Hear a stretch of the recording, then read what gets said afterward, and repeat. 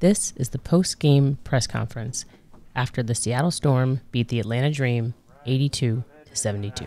Kick things off with questions here in the room. Jeff, you want to kick us off? Yeah, Stewie, when team is going off in the first half like that, is there like an extra effort to get her the ball and just let her go to work? Uh, definitely. I think, you know, especially um, when she's on the block trying to find her, just because she was in a really good groove. But they were leaving her open on the perimeter, and she was just kind of getting them from all over the floor. And uh, Tina, I thought uh, both uh, Piff and uh, I thought both Piff and real? um, Mine Briann look 30 January. Yeah, we were saying that Yeah, too. yeah, we just noticed Uh. Yes. uh, Piff and Briann January, I thought both gave you guys a, a good boost. It was one of their better games uh, in recent memory. Just talk about how important it is to have that bench come in and, and give the effort there. Oh, it's very crucial. Um, I think that's why this organization has always had the success that they've had because of the depth, because of the trust that the coaching staff has always had in the players that they had in, within this organization. And you know, you take a Briann January who's championship caliber. You take Epiphany Prince, who's a great vet. You know, been to a finals, very selfless. Um, it's definitely very helpful. Um, they have a great basketball IQ that can definitely identify things out on the court and um, just help us out along the way. So I think that's the best thing about this organization. And Uh, Roshan, go ahead. Um, Tina, I don't know if I misread things, but when they showed you on the big screen and said this was your 7,000 point, it looked like for a brief moment you were like confused about what they were going to say. Did you know that you were coming up on 7,000 or did just Um, misread that? No, I, I did just Okay. during my time in Phoenix. Um, I'm not saying before this game, but during my time in Phoenix and when I moved up, um, I knew it was could happen during um, the course of the season. I just didn't know what was going on.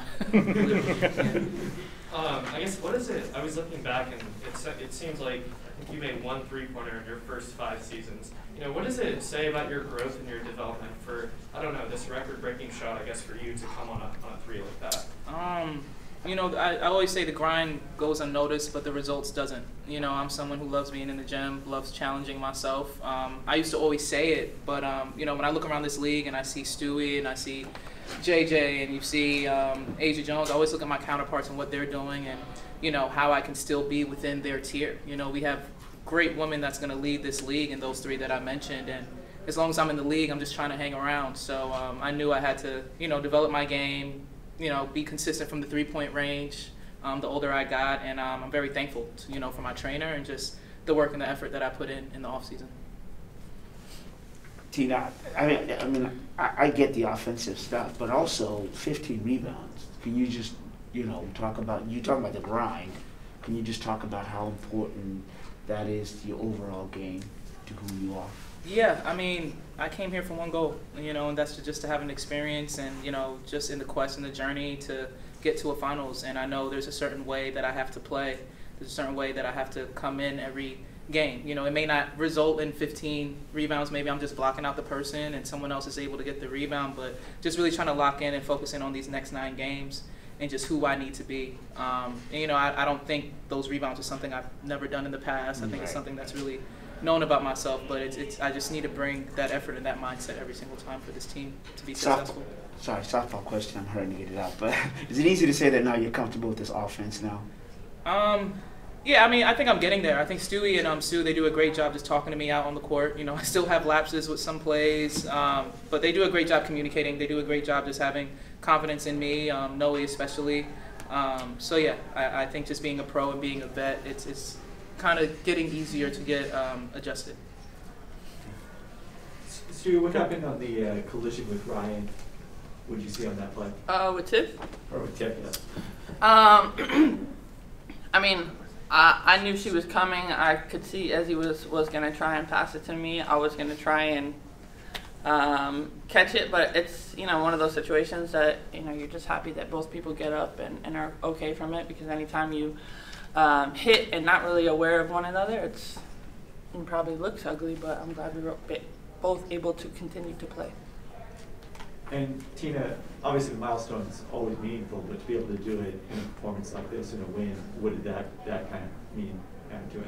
Yeah, if it's one thing that Jantel just kept saying to me, you know, we have to finish it. You know, you're doing a great job, but you have to finish it. So that was definitely something um, on my mind. The milestone is something I probably reflect back on when I'm retired. Um, just trying to get these wins and just knowing how important each and every single game is and the way we close out games and just our process out there.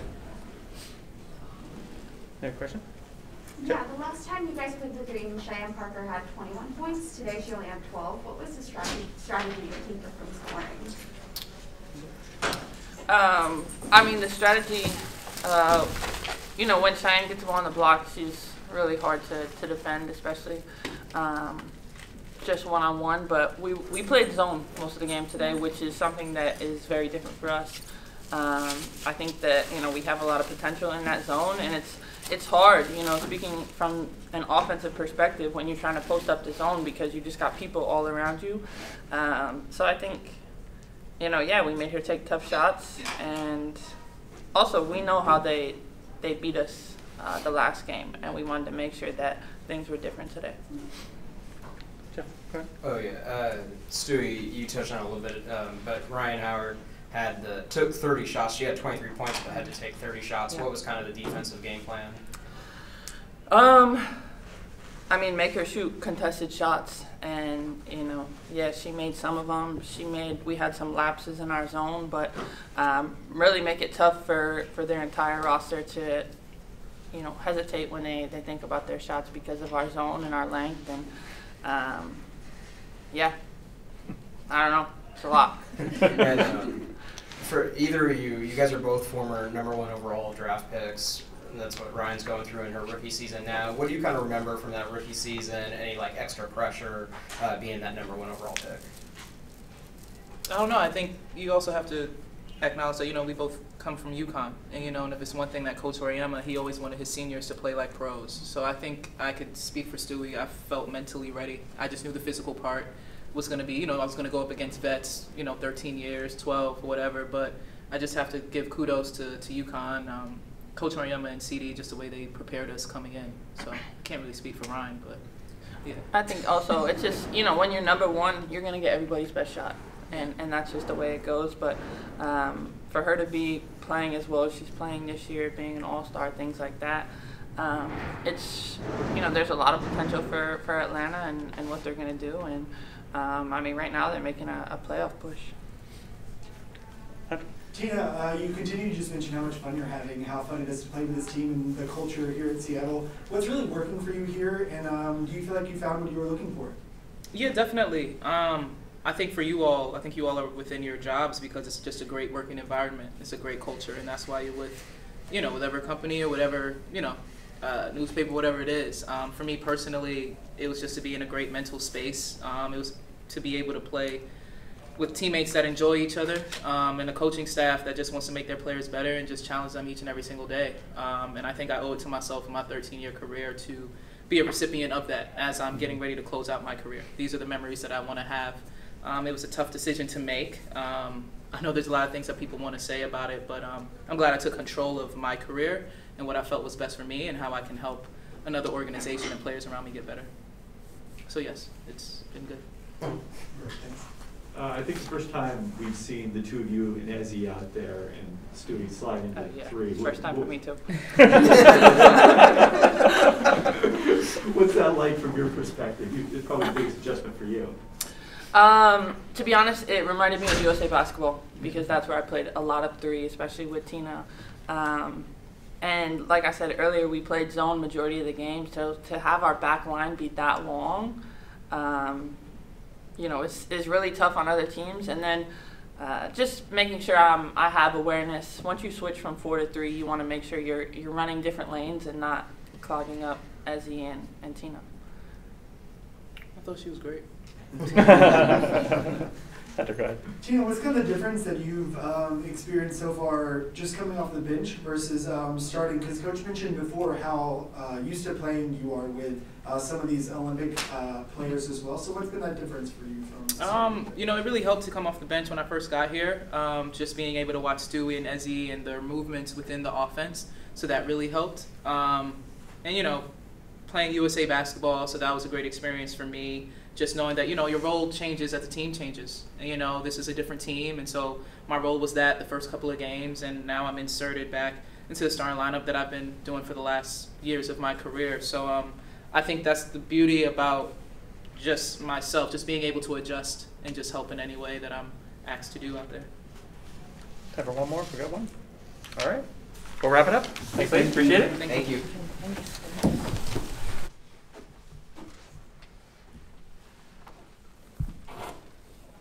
Coach, uh, go ahead and just open it up your thoughts on today's game, and we'll kick it off for questions.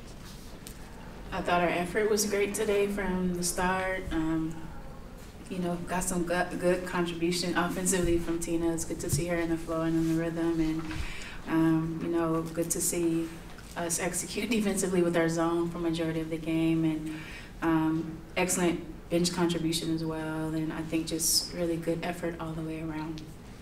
We have questions in here. Jeff, go ahead. Yeah, uh, big story for you guys is the performances of Tina and Stewie, both over 20 points, both uh, 10 rebounds or more. Um, just talk about both of their performances.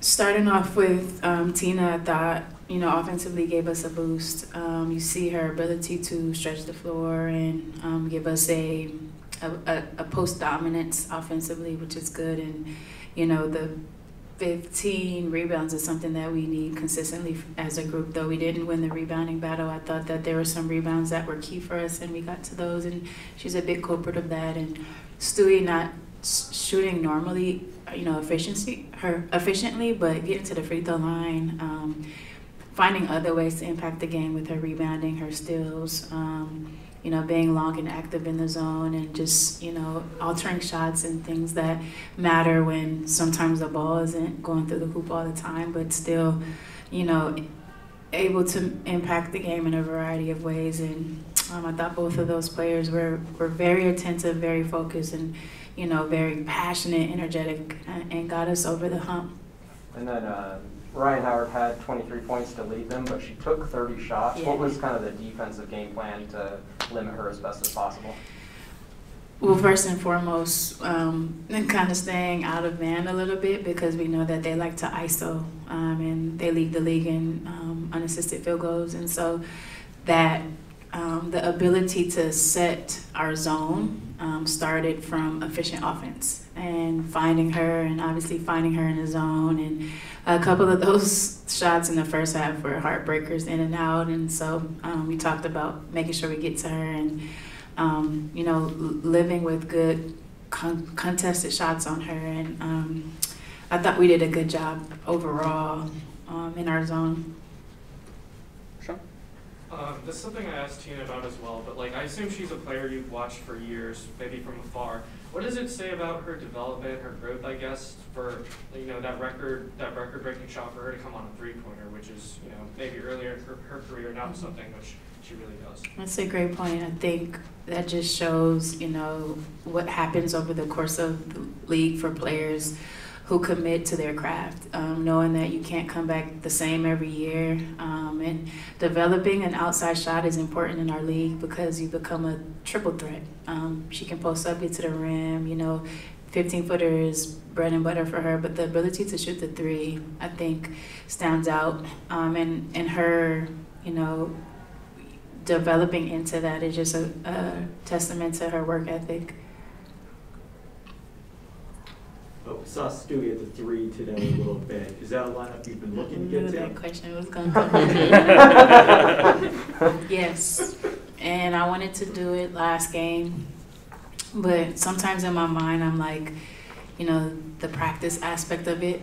But today it was kind of like let's just do everything, and that was one of those things um, to move her to the three and to see because we're playing zone and you know thinking about rebounding and to have the we're big on the floor, you know, with with with Ezzy, um, Tina and Stewie, and think about adding Gabby to the mix. She was in foul trouble a little bit, but that's a huge lineup. And just kind of tweaking with that, putting Jewel in that eventually. I think if you think about Connecticut, if you think about Vegas, and I'm not looking ahead too far, but I'm just, these are teams that we're going to play on the road. Um, I think it's important to get game reps um, when we don't have a lot of practice time. Um, I liked what I saw. Obviously, we can do a better job of rebounding and, you know, offensively making it a little bit more cleaner, but we're a deadly lineup when we're that big, I think.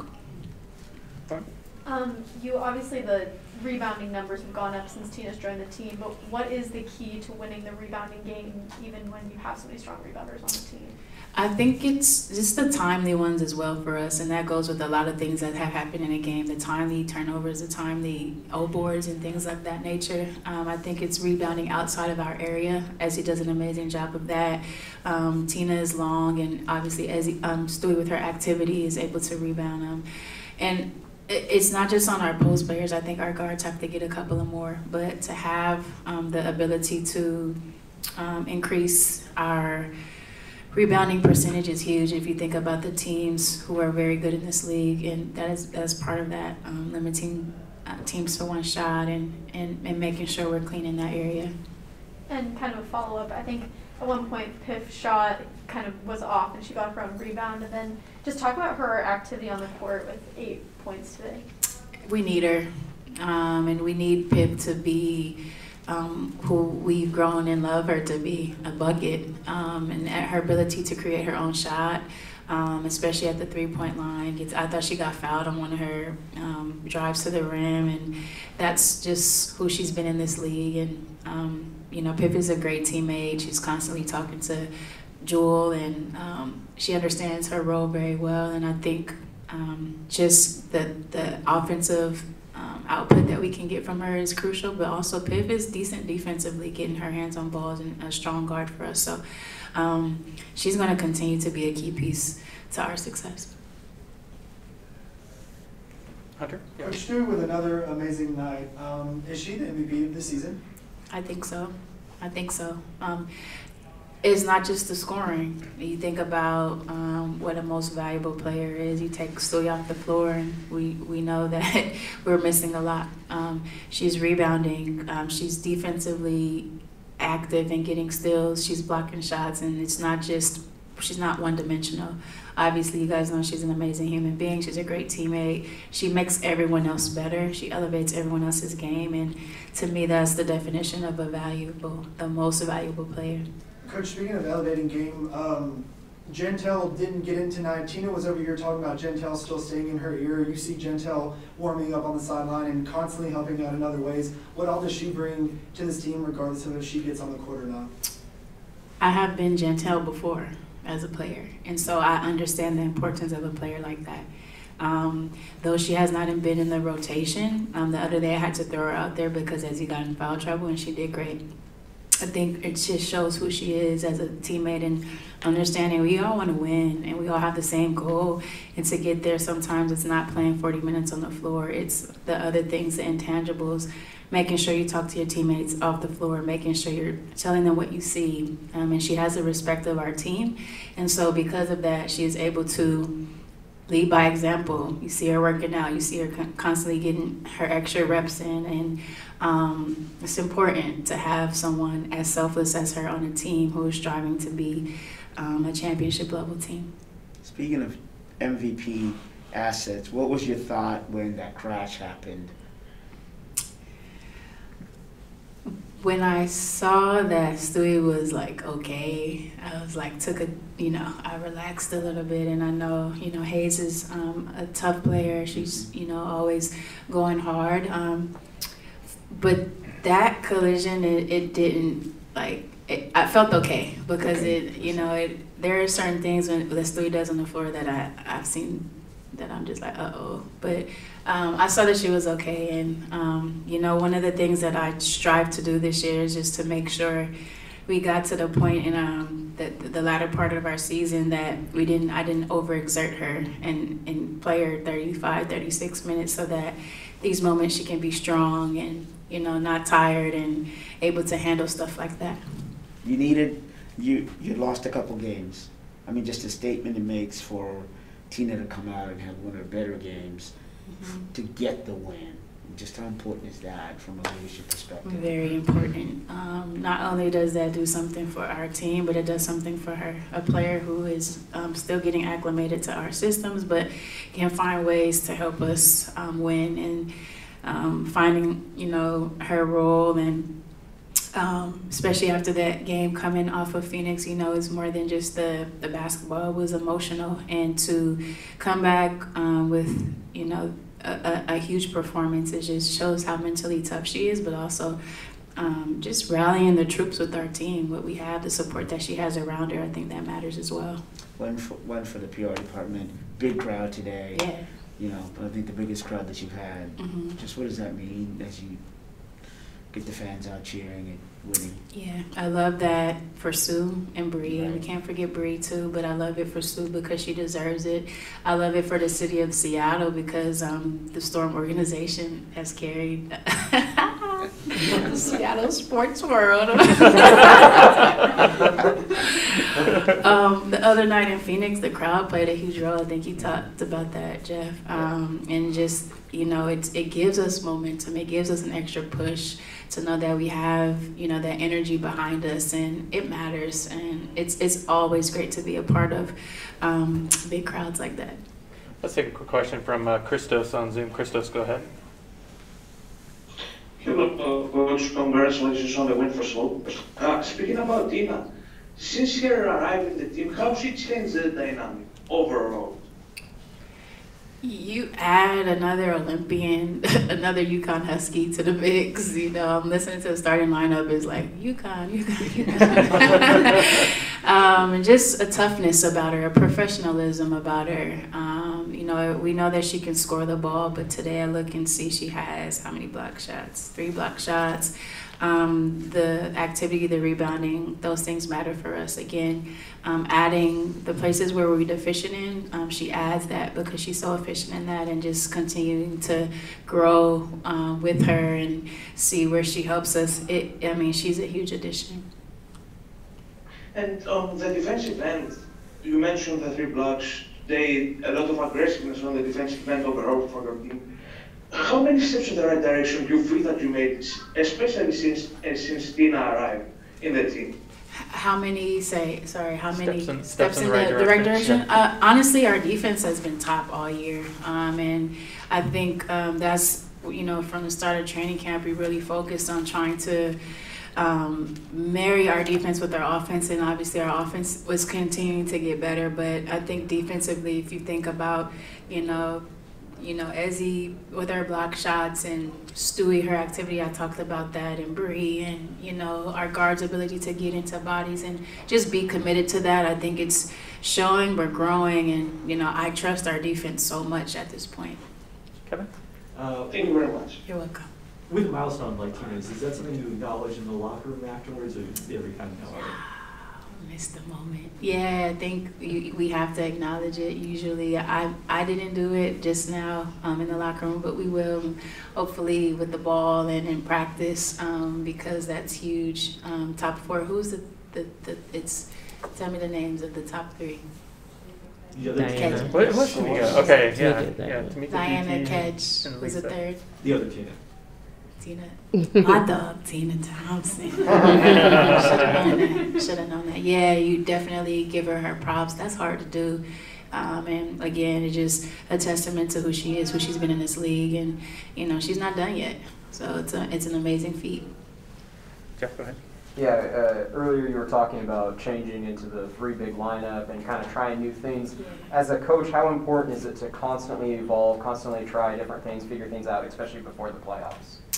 Yeah, it's important because um, it's you know with the play playoff format, it's like you jump right into playoffs. A couple of years ago, we had a, couple of weeks or a week or so before the first game to kind of tweak and see if it um, is something that we could do. And I think again, right now, it's I think you just try whatever it is in the game, and you just live or die with the decision because there's not enough to, another time to practice it or work on it, and um, you have to, you know, find something that you can layer that you can say like we can go to this lineup because we're going to get X Y Z and, and say it confidently and know what we can get out of that, and there's something to say about seeing it today that we know coming up we can utilize it again. Um, it's just a matter of um, you know, just trusting it and, you know, good, bad, and different, living with the fact that you tried it and just keeping it in the back pocket because in playoffs, you got to try anything to get the win.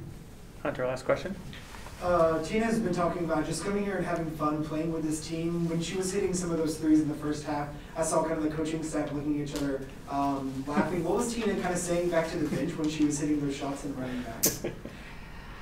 Um, I personally thought she wanted to take more contested shot. Like she was, you know, mm, hesitating a little bit um, before she shot those, and that's kind of what my like.